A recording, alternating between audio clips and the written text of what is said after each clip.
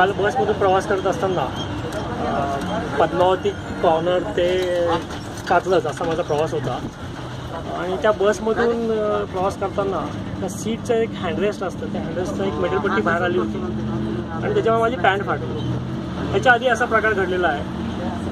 काही प्रवाशांना तर इजाही झालेल्या आहेत. आणि अशा प्रकारच्या तक्रारी प्रवाशांनी ऑलरेडी केलेल्या आहेत.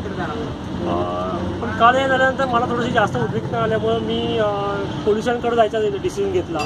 आणि या प्रशासनाविरुद्ध हलगर्जीपणा केला. त्या प्रवाशांच्या जीवाशी खेळला म्हणून पोलिसांकडे तक्रार दाखल केली. या तक्रारीचा मूळ उद्देश असा आहे की या प्रशासनाने प्रवाशांच्या सुरक्षितेकडे लक्ष द्यायला पाहिजे.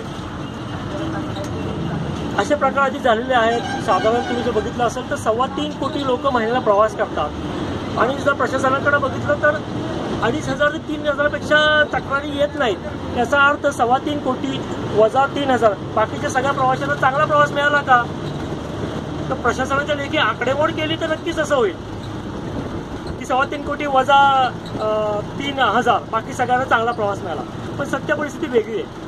म्हणून प्रशासनाला विनंती आहे की प्रवाशांच्या सुरक्षेसाठी खूप महत्त्वाचं काम केलं पाहिजे.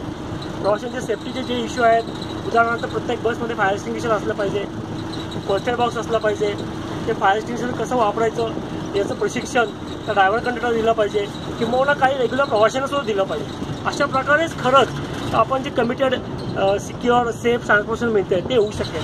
म्हणून प्रशासनाला विनंती आहे की याच्यामध्ये गांभीर्याने लक्ष देऊन हा प्रश्न तसाच लावावा आणि प्रवाशांच्या सेफ्टीकडं लक्ष द्यावं. धन्यवाद.